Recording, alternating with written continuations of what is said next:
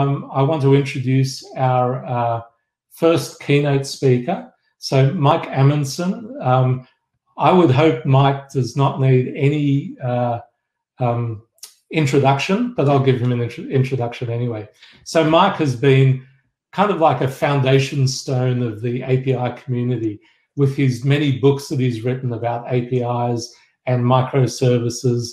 Uh, Mike runs conferences as well. He's one of the founders of RESTfest. Um, he's a speaker, an author, a raconteur.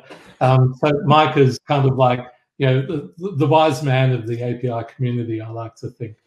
So uh, Mike is here to to talk, talk to us about um, speeding the future of APIs and how APIs will step up to the real-time online uh, demands of the future.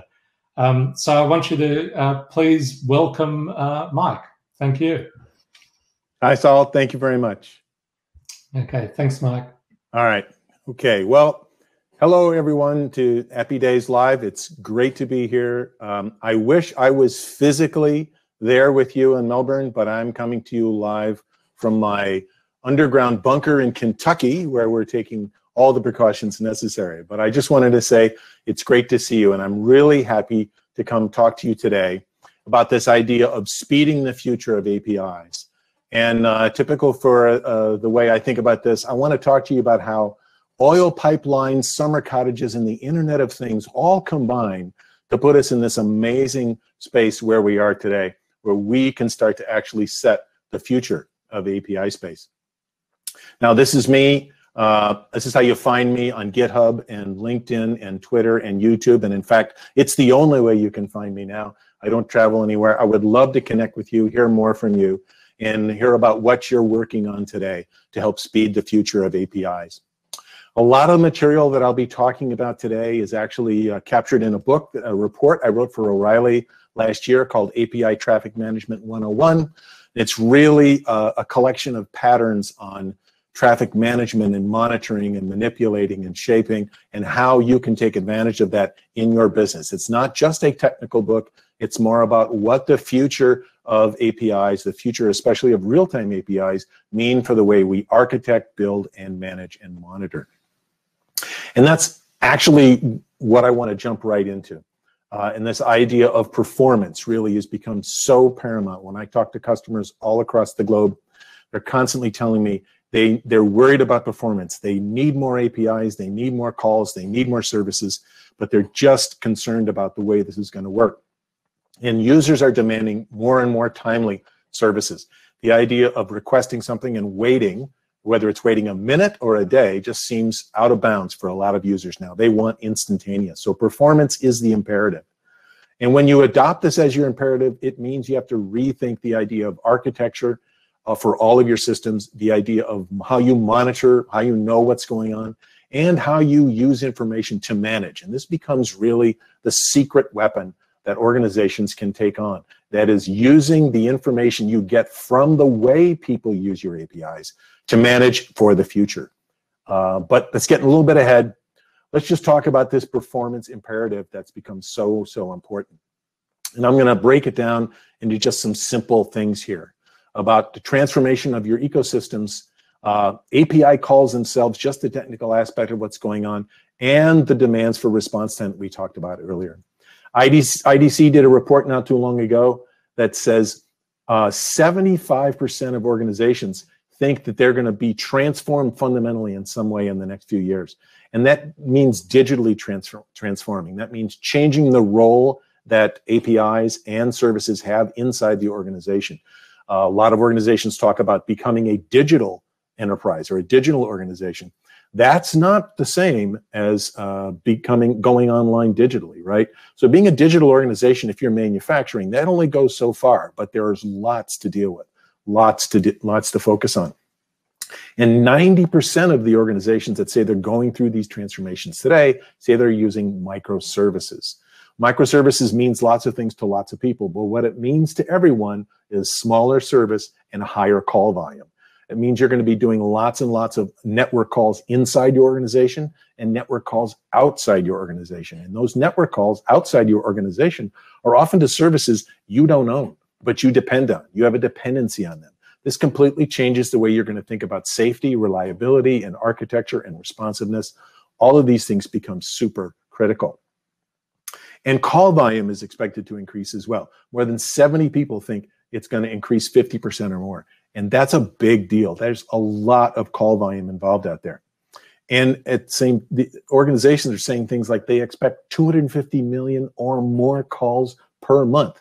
That's eight to 10 million calls a day, every single day. And for large organizations, that's just going to get bigger and bigger. And if you're an international organization, a finance organization, or anybody that stretches the globe, even you know goods and services, this is going to be huge. This is going to affect a lot of us in a lot of ways.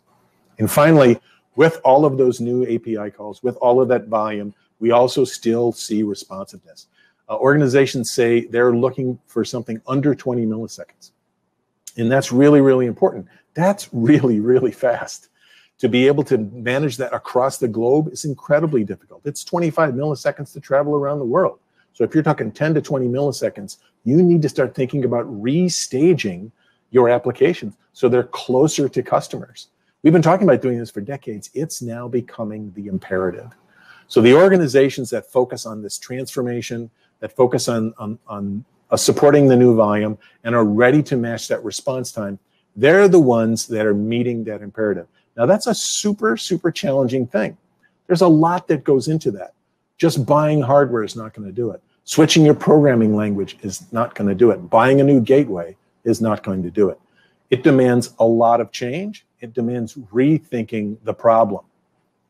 And in order to talk about that, I want to use a use case that where this happened, but I'm going to go back 20 years to 1997 and talk about oil pipelines. In the late 90s, um, oil pipelines were this were a huge, huge task. They were managed by control devices, uh, data acquisition devices, SCADAs, uh, and people would monitor them on a regular basis, basically polling systems. Uh, and you needed to set up large communication networks throughout the pipeline system, whether it's in Alaska or it's out in, in Doha or it's in the desert or somewhere else. And became uh, really, really complex and expensive. Then suddenly there was a huge disruption. And that disruption was the breakup of AT&T and other telecommunications companies. Suddenly, uh, they wanted a profit in this. They were no longer subsidized costs started to rise. The cost of arranging and setting up all these hardline systems, or even even major uh, satellite systems, uh, became microwave systems became really really uh, uh prohibitive. Round about this time, very small aperture uh, transmission satellites, VSATs, become really popular. In the late 90s is when we start to get satellite TV. We got that in the U.S. anyway. So this is this converges. So this notion of having small satellites and this notion of having rising costs starts some people to thinking. And they start thinking about how can we take advantage of this space? How can we take advantage of this disruption? And one of the people who had been working in this pipeline space for almost two decades already wanted to invent a real-time control system that worked differently that didn't work on the polling system that was really expensive where you'd keep asking over and over even if data didn't change. Arlen Nipper who's now uh, with CirrusLink was thinking we have to make a major change. Arlen understood SCADAs and he understood information, but he didn't understand communication. He ran into another person who had uh, been working at IBM on uh, message-oriented middleware in the 90s and knew a lot about communications and making them effective and efficient. Didn't know much about SCADAs at the time. The two of them got together and they figured out how to establish a new protocol, a new set of patterns where they flipped the script so instead of polling systems, they had systems calling them back, what we later called publish and subscribe. And what the two of them created was a new bandwidth efficient, lightweight, low battery, low storage system that would work via satellite links, but only work when they real, were really necessary, would only call back when they had new informations. So by 1999, this becomes known as MQTT. And if you think about the timing of this, this is in the, in the 90s, the, in the 90s is when HTTP is just starting to come into its own. These are parallel tracks, solving very different problems, but parallel tracks. In fact, Nipper and uh, Stanford Clark completely uh, re-envisioned the pipeline industry and lots of other related industries, all because of their idea of changing the way things did. And what they did is they architected for performance. They thought differently about the way this was going to work. And when we think about architecting our organization, transforming our organization, it's a big deal. Lifting and shifting is not enough. You can't just copy your on-prem systems and put them in the cloud and expect them to work. You've got added distance, lots more connections. That's going to slow performance. Native storage and, and, and services operate under a completely different set of rules. You can't just have joins across the internet in, in SQL databases. It's a totally new deal. You're going to have to rethink services. You need to make them smaller, more lightweight, easier to produce, easier to install. You need to reduce the number of wait states by using asynchronous connections. You need to build in reversal and recovery so that if one breaks, there's some other one to take its place automatically. You have to have failover. And this means you're going to have to completely re-engineer data. You're going to have to do a lot of caching to stage in those locations. You're going to need to think about staging copies of the data, maybe even streaming writes that may get resolved. This is where we get eventual consistency. Rethinking data is really important. And we rethink the idea of a network. We're no longer just working on our own network where the wires are owned by us. We're going to have to be working across the world. We're going to be working with services that we've never seen before. We're going to get a uh, decrease in message size and increase in message volume. And that means we're going to get some kind of RPC back as well. And that leads me to the second part of my story, and that is summer cottages on the Isle of Wight. So in 2008, the BBC did a story on somebody who had created, they called a computer whiz, who had created a Twitter house. And this house would tweet things like the, you left the door open, you left the water running, the lights are on. Uh, we caught a mouse in the mousetrap. All these things were happening on this Twitter house. And who was this computer whiz that had created this house that talked on the internet? Well, it was none other than Andy Stanford Clark, the gentleman who had created the messaging system with Arlen Nipper that saved the pipeline industry. Andy put his own house on Twitter. Why did he do this? Because he wanted to show people that this was possible. He wanted to show people it's more than just pipelines and transportation equipment. He, he used to say, like millions of people, this house uses the internet messaging service too. It's a way to connect to lots of things in lots of places. Andy completely rethought what he was doing. And by the way, he didn't put online how many devices there were or how often they connected or how fast they were. He put online the results of what those devices sensed or saw. Uh, windows are open, doors are ajar, lights have been left on, water is running. The actual activities. He figured out how to use these devices to monitor what was going around and the world around him. And that's the other big lesson in all this. We need to be monitoring for performance. We need to monitor in three key areas infrastructure, businesses, and services all together. They all come through a central place, but they each of these organizations have different needs, different understanding of what's going on. The services need to know that they're up and running, that they're reliable, that they're doing their job as they're supposed to. They're taking care of data, whatever. Um, the infrastructure needs to know that they can meet, reach things, they can communicate things, that they're not degrading in some way. They need to actually be able to fix things if things go bad. But more importantly, the business needs to know if we're actually doing business. Are we selling widgets? Are we meeting customer demands? Are we closing sales? This is the most important element. One of the things we learn from this online real-time API system is now we've got online real-time data about our business itself, not just about our equipment, not just about our developers, not just about the services, but the actual business of transactions that we're making. So sure, infrastructure needs to focus on machines and connections and all those other uh, nasty little bits. Services need to focus on microservices, internet service buses. They need to focus on latency and error rates and limits for each one of those services to make sure they stay healthy. But as we talked about before, users need to focus on transactions, business transactions, completed orders, all these things that are super important.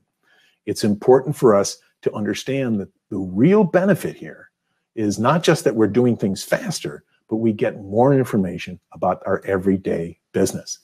And that leads us to the, today's Internet of Things, where they're everywhere. They're on vehicles, they're in buildings, they're on boats and ships and planes and all these other kinds of things. There are all sorts of messaging standards by now, lots of proprietary ones as well as shared ones. MQTT still ranks at the very top in these Internet of Things message standards. It's important to note that HTTP is also still very popular in the Internet of Things space, especially with HTTP 2.0, where we've got binary messaging and several other things. There's actually a lot of value still in HTTP, but there's lots in this space. And you're going to have to figure out how to navigate this zone, whether it's AMQP, WebSockets, or whatever. Like Andy says, um, we're moving towards an Internet of Things where thousands, millions, and trillions of devices will be connected, and they'll be telling us about one little piece of data for each of them. And we need to be prepared for that kind of scale. We're used to building large scale systems that tell us lots of things about one, one in ecosystem. Now we're going to build lots and lots of small things that make up an ecosystem, a view onto the world. That's a very different kind of architecture that we have to plan for. What I love, uh, one of the things that Andy says is by mining the sea of data, we can make information and knowledge about the world that we're in. We're creating the information, we're creating the knowledge. This is a huge responsibility.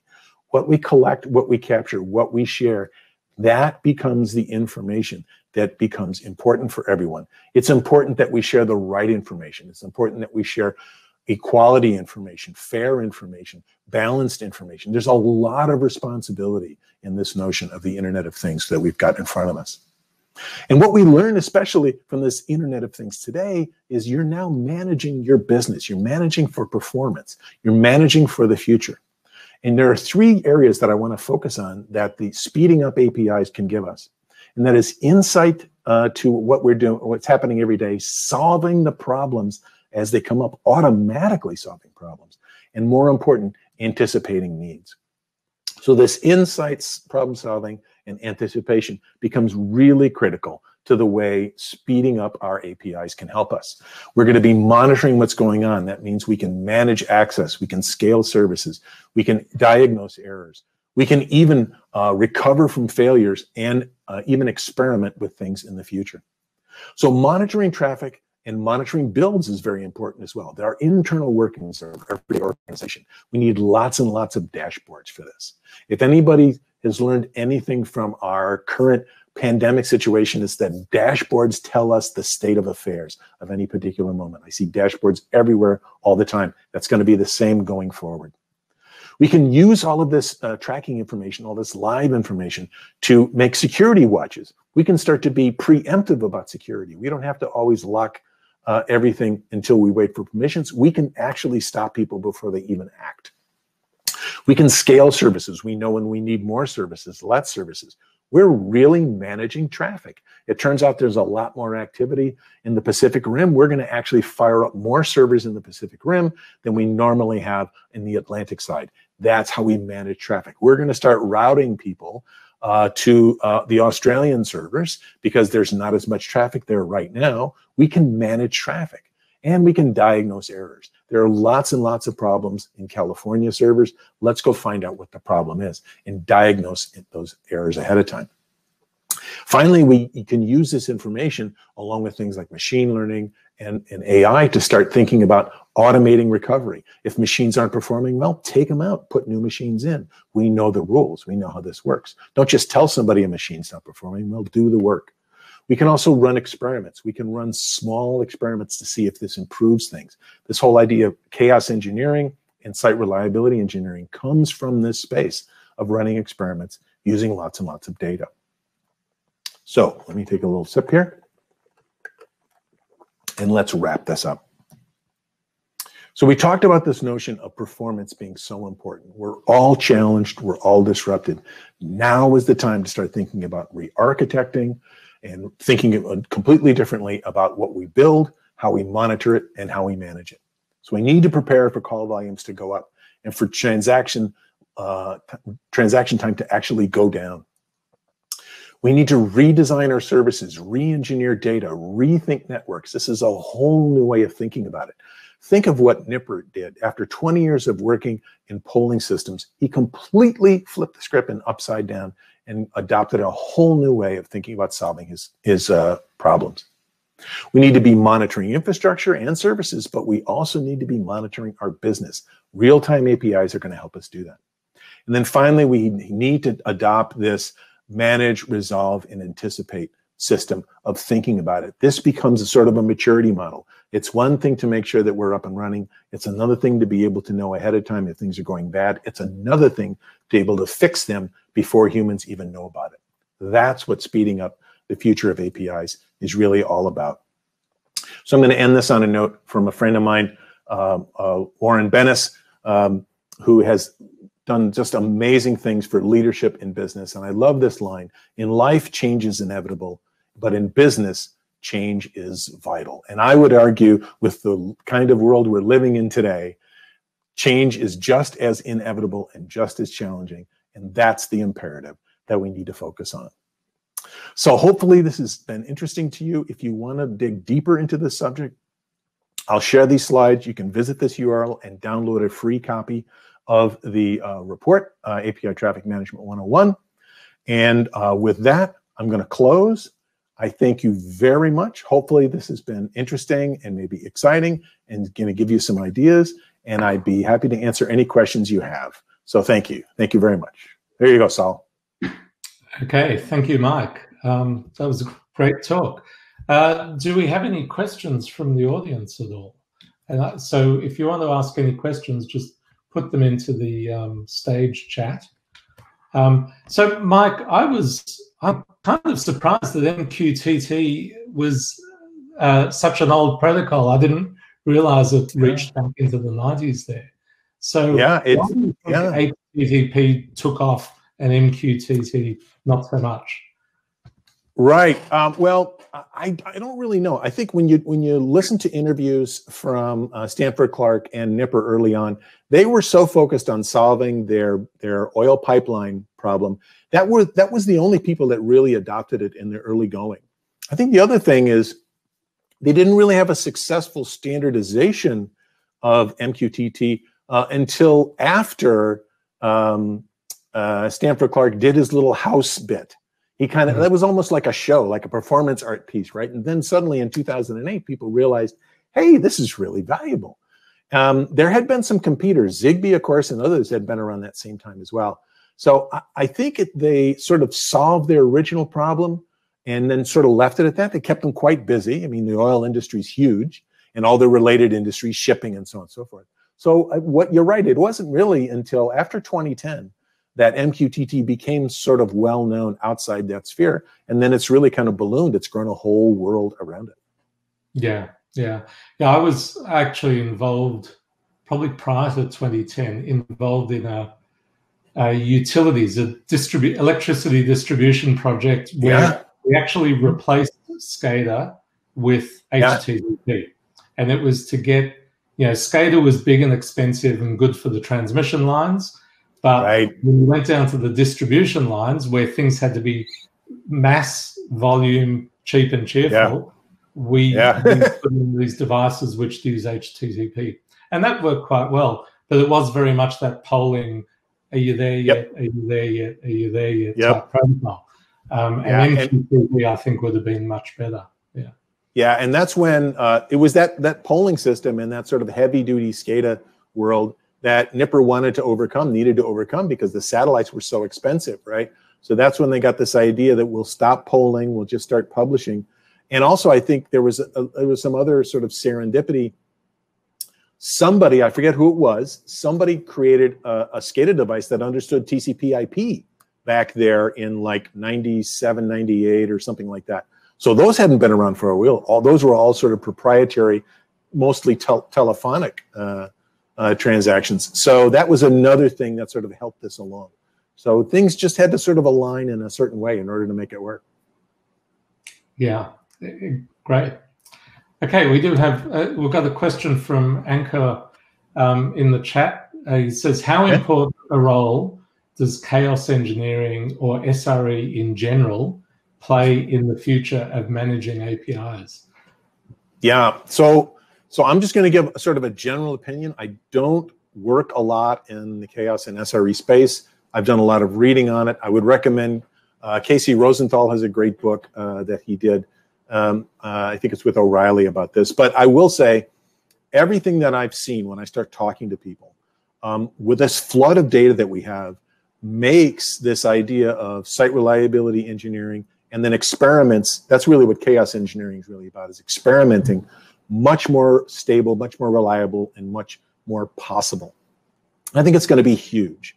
I think what's going to happen is we're going to find more and more things happening in site reliability engineering that lead to automation, that automatically start fixing things, that automatically understand patterns. Now we're, I mean, we're years off, but I think that's where things are going to go. So I think understanding the role of site reliability engineering today, how it affects, excuse me, how it affects the way you engineer and implement, and the possibilities of these experiments. That's what the chaos space is about, shunting a little traffic off, trying something out, experimenting with your ideas. I think these are going to be super critical roles. I think my, my advice today would be if you're just getting into the space, I would really focus on these areas. It's going to be huge. And it's real, uh, it, it's, it's, it's math heavy, it's engineering, but there's a lot of fantastic opportunity in that space. I think it's important. Hmm. yeah, I agree. And I, I also think it's really interesting that the people who are applying chaos engineering now are organizations who've gotten so large in terms of their microservice infrastructure that it's impossible to do test in a yep test environment, right? You have to test in the real world because yep. they, they, they really are pushing the envelope. Um, yeah. We've got a, another question. Isn't request response API still polling? Stream-based event-driven architectures seem to be more aligned to the use cases you've covered. Yeah, so definitely stream-based is is much more aligned. And MQTT is not a polling system, right? So MQTT allows me to um, to publish events uh, and send them to a broker, and then that broker can listen to subscriptions and pass them out. So so uh, it's definitely uh, HTTP is still some kind of request response, and you can set up timing pollings, but it's not going to be the same as something like MQTT or AMQP or WebSockets or or some of these other things. So there's definitely a big difference. And um, I, while I think this uh, real time has a place, there's a distance at which real time or this this publishing um, changes changes dynamics. Um, I had a, a, very brief experience with some space data systems engineering. Uh, CCSDS is the name of the organization. It's a worldwide organization for computer systems in space. Think about when you're millions of miles away. Think about the minutes, the hours, the possible days it takes for a message to get to somewhere. You can't do any kind of polling of any kind in that. It all has to be this notion of publish and subscribe. Tell me when something happens. Um, but it changes that dynamics uh, immensely.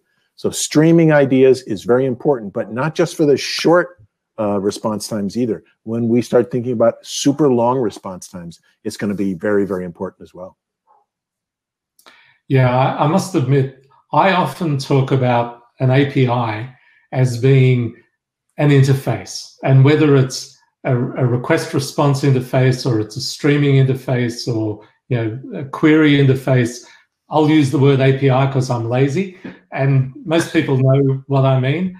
Um, I'm not going to apologize for it because I think the the what the, what did we used to call it the um, the I've forgotten the, the word now, but the, the way that we interact with the API and the underlying mm-hmm. transport that we use is less yep. important than the contract that you put in place to say this is how it should be used. So therefore, yeah, and, yeah.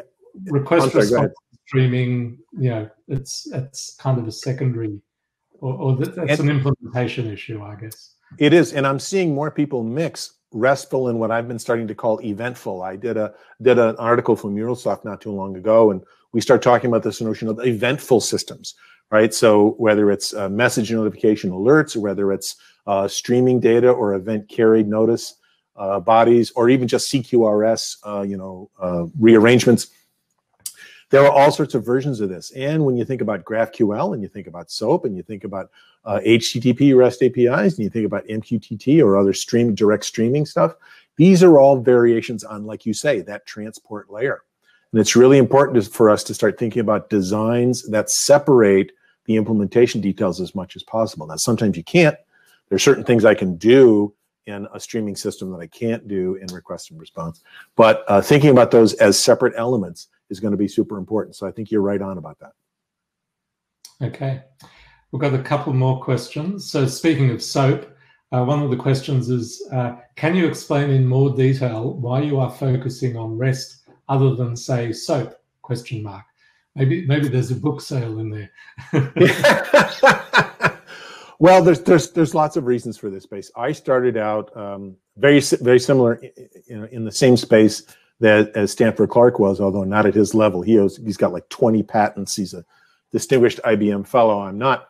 But this idea of message-oriented mm-hmm. middleware uh, really struck me as, as really, really interesting. I f- ended up focusing in the HTTP space uh, in the REST, so-called REST space, because I thought there was just so much opportunity uh, for possibility. And I think there still is a great deal of opportunity there as well. Uh, at the same time, though, I, I think it's important to realize a lot of the, uh, as, as sort of Saul mentioned, I think a lot of the architectural underpinnings, a lot of the basic elements uh, are going to be at play whether you're whether you're working on like an object, you know, shared object system like uh, the SOAP system, or RPC like gRPC, where you're just talking about remote method invocations, or whether you're talking about GraphQL, which is you know data services. They all have their place and they all have their power. Uh, I can't keep track with all of them. I can't keep up with all of them. So I continue to focus on that REST space because that's the one that I've, I've come to know really well. But there's lots and lots of opportunity out there. And I have a lot of customers that are not moving away from SOAP. Uh, they've got a lot of intellectual property investment. They're doing just fine. And there's no reason to change them just to be de rigueur, just because it's a new thing. They, they love what they're doing. Mm, yes, I agree. I mean, it's, it's horses for courses. Um, yeah. There's a lot of talks this year in our conference around event-driven architecture. Um, so the next question kind of anticipates that. Um, so what's the main difference between API-driven and event-driven, and when to use? Any example use cases for both? Well, I can tell you one of the things I've been working on the last several months is trying to come up with sort of a uh, an abstract language for interfaces that is not an IDL, it's not a definition language, but a description that you then turn into a definition language. And one of the things I've been working on is using the same general description to generate a uh, an open API document, which is very HTTP RESTy, and an async API document. In my case, I've been using it for MQTT. Uh, well, it turns out there are lots of frictions there and I think one of the things that I've grown to understand is I've sort of adopted a sort of an HTTP hat, what we would call web API hat. Like this, I put this hat on and I immediately know, oh, I need a list and a, and a read and a write and a delete and a filter and maybe some other other extra actions kind of deal. And I just sort of know where that goes. I've got that sort of wired into my brain. But in an event-driven system, I don't just think so. All the things I described was was on the server side, the producer side. In an event-driven system, I really have to think a lot about the consumer side. So, what are they going to want to know about? They're going to want to know when somebody logs in. They're going to want to know when someone's changed a record. They're going to want to know when someone's abandoned a cart. They're going to want to know when someone's completed a purchase. These are a completely different set of things that go on. And that's why in my talk, I talked a lot about this idea of moving beyond the technical and into the business realm. So as I work with people more and more who want to create information systems about what's going on in their business every day, not just their technology, I find this eventing to be event, a sort of an event-driven pattern to be a much more applicable, much more directly usable uh, uh, way to go. And that's really what's been driving a lot of the customers I've been working with for the last year or so. Mm, yeah, I, I, agree with you. I, I like to think about um, if we think about the state model of a resource. So whether it's a door or a switch or a customer or a transmission line, it's got a state model, right? And you use the APIs to drive the state, to change the state, and you listen to events as a notification of that state change. And if you design with that in mind, then you get a nice um, mixture of APIs and events that complement each other. Um, yeah. So that that seems to be that seems to work well. That that's a that's a really really good point. So that that's like that's the next level up, right? You talked about the actual state of the system And then you talked about whether or not we'll use this kind of implementation or that kind of implementation. That's a brilliant way to really to, to think about it. Uh, and that's when you start to have this notion that, you know, there are lots, there are lots of fish in the sea. There are lots of opportunities here. Let's find the one that fits best for this particular moment. And that's a, that's really a great way to think about it. So, okay, all right. Um, how are we doing for time? I think um, I think there's no more questions there. So, is there anything you want to just um, mention uh, as closing? Um, what's your latest book that you're working on that you want to share with us? Well, I, I will say, since you gave me the opportunity, um, yeah. I'm just finishing. We just finished the final edits on a book called Design and Build Great Web APIs, and it's definitely in the HTTP Web API space. But it starts from the idea of API first and works through modeling and designing and describing and documenting and prototyping and sketching and building and deploying and securing and testing and releasing and then going back and doing it all over again. So it's this sort of whole cycle of work. So it's a book that I just finished with Pragmatic, and I'm very excited to be able to do it. I've been working on it for quite a while. Uh, it sort of collects up things I've learned from so many people over the, the last decade or so. So, so that's definitely going to be around. Uh, I will continue to talk about this eventing as well. Um, I'm working on a couple other projects uh, that are sort of in the hush, and that really will be around this notice of, of eventful versus restful and how we can start to combine the two of them. So I'm, I'm actually managing to keep myself very busy, even though I'm not traveling, maybe because I'm not traveling anymore. And it's been an amazing uh, several months, and I hope to keep at it. Mm, that's great. I like the word eventful. I'm going to start using that. I hope you've got it. Have you got it trademarked? Have you got the domain name? I, don't have a trademark. let's let's see if we can let's see if we can give it legs. I don't know if it's like hashtag it or something like that. It may be a tough one, but let's let's give it a go. Let's give it a shot. All right. Okay. Thanks a lot for joining us, Mike. Um, you bet. for everybody else, we're going to go to a break now, a 30 minute break. Please um, wander around, talk to people, visit our um, exhibition space, talk to our sponsors, um, and then we're coming back at uh, 10:20 on the dot. Be in there at 10:20. Um, the three streams are open: strategy, execution, platforms. Check your online programs. We've also got the Slack workshop starting immediately after the break, and um, a couple of other roundtables and workshops in there as well. So please check the um, the online schedule. Okay, thanks a lot. Thanks for joining us, Mike. Um, enjoyed the talk, and we'll see, I'll you, see you around after the break. Thank you. Bye bye.